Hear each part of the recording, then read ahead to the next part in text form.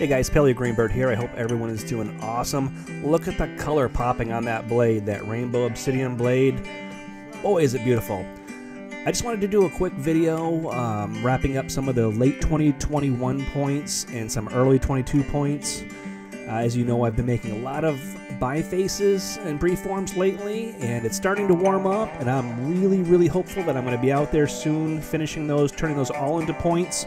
So I wanted to just document a little bit of what I have left over from 2021 so that I can start fresh uh, with 2022. And again, some of these are 2022 points, um, especially some of those darker obsidian ones that were made out of flakes. So the blade you're looking at right now, I'm probably going to turn into a knife and maybe do an auction but we'll talk a little bit more about that later because I'm going to need somebody's help with a handle because as you've seen from my blades, my handles tend to be pretty basic and um, I'd like to do a fundraiser for St. Jude's Children's Hospital, so we'll need something a little bit special. So, the first point that I'm going to show is um, a dacite point that's mostly direct. It has a little bit of indirect percussion to finish it up. Notches came out great. Uh, really, really thin. I wish there was a little bit more convexity, but that's the battle that I'm fighting as I make my points a lot thinner than what uh, they had been in the past. So I'll find that balance this year. This one here is Novaculite. There's a little bit of white left in there, but mostly just the, the black part of the Novaculite. Again, real thin. Decent center line. Notches came out okay. And this is also uh, Novaculite. There's no white in there, it's just uh, black, but it's got a nice thin edge to it. I'm happy with it. Didn't put any notches in it, I'm not sure if I will or not. That right there is uh, Rainy Buttes. Not the easiest to work, and the edge definitely needs some work if it's going to be sharp. And um, there's a rainbow obsidian right there.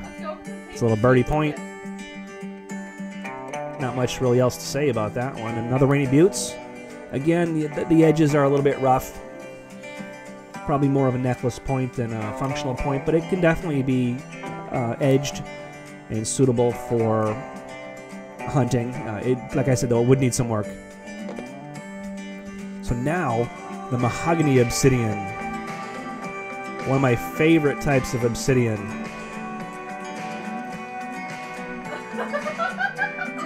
This is just a little leaf shape blade or point that I made. Again, pretty thin, not the best uh, flake patterns, and I'm hoping that this year I'll improve that as well. I'm getting my points a lot thinner. Now I'm going to be working on convexity and flake pattern. This is a nice little wide triangular uh, bird point.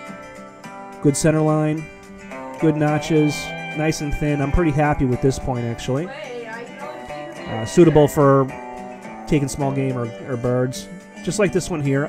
This one got a little bit more of a teardrop shape to it. A little more convexity, so I do like that. Just love rainbow, I'm, I'm sorry, uh, mahogany obsidian. One of my favorite types of obsidian, like I said. Another nice one. A little bit of a gouge taken out of the tip of that. You can see as it um, as it tapers. That's rainbow obsidian right there, and nice sharp straight edges good center line a little bit uh, thick there in the front. There's a story behind that. Maybe i'll get into that someday. Um, and then another one of these wide triangular points. Um, if i can keep from breaking it you'll see it's got a nice center line nice and thin.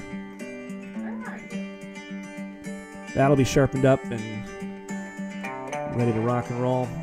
Here's another uh, Rainy Buttes point. This one is, again, the edges need a lot of work to it, but I love the shape uh, that leaf-like shape. So I decided to keep it. But again, I'll probably be touching up the edges on that to sharpen it up. I'm going to try and make my points a little bit sharper uh, moving forward.